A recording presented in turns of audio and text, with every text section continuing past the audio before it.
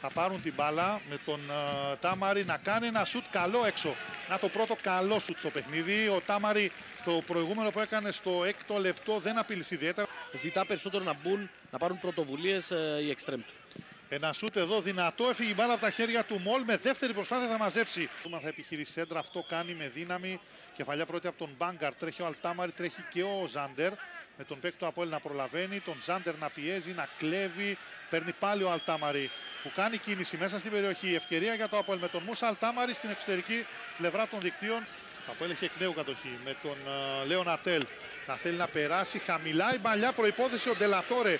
Θα προλάβει ο Χολτ και θα βγάλει άμυνα. Θα βάλω κάποια μικρονευράκια. Όλη πάφος πίσω.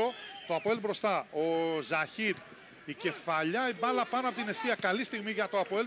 Θέλει να κρατήσει μπάλα, να δούμε την επιλογή του απέναντι από τον Ζάντερ. Θα τον περάσει σε πρώτο χρόνο. Έρχεται και ο Βούρος για να βοηθήσει. Αλτάμαρη πάτησε για τον Βούρο. Είναι και ο Ζαχίτ. Πάσα του Ζαχίτ για τον Βούρο εντός περιοχής. Το γύρισμα, γκολ. Μεγάλη απόκρουση, τεράστια φάση από το γύρισμα. Σόουζα. Τάμαρη κάνει κίνηση, πέρασε το σουτ με πολύ φάλτσο έξω. Πούλς, δυνατή παλιά, τώρα το σουτ έξω. Κεφαλιά πρώτη από τον Σαντάνα με τον Ζάντερ να γυρίζει για τον Ράζιτς. Κάνει κίνηση αυτό στο σουτ έξω. winmasters.com.cy Όλοι οι παίκτες παίζουν εδώ.